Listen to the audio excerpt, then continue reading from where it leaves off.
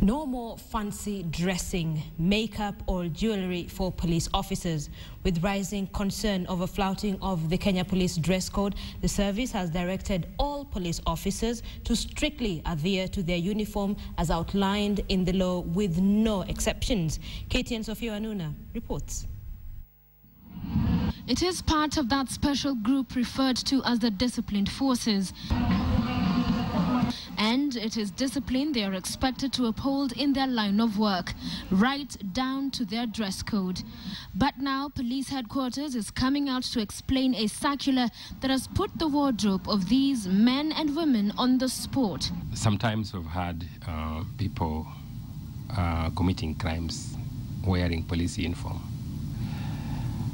Um, and that's why we want to allay fears uh, a properly uniformed officer will leave no doubt in the minds of uh, Mwananchi. The circular dated 30th July 2013 from the National Police Service Internal Affairs Unit to all county commanders details what it says are ways in which some officers are flouting the dress code.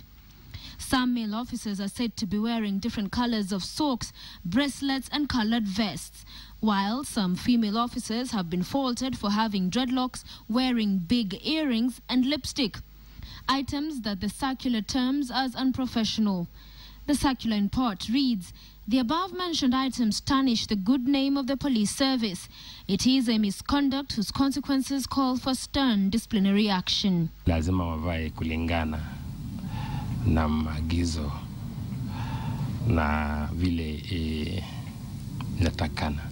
The acting director of the Internal Affairs Unit says strictly keeping to the Kenya police uniform at all times helps make officers easily identifiable and also serves to counter imposters.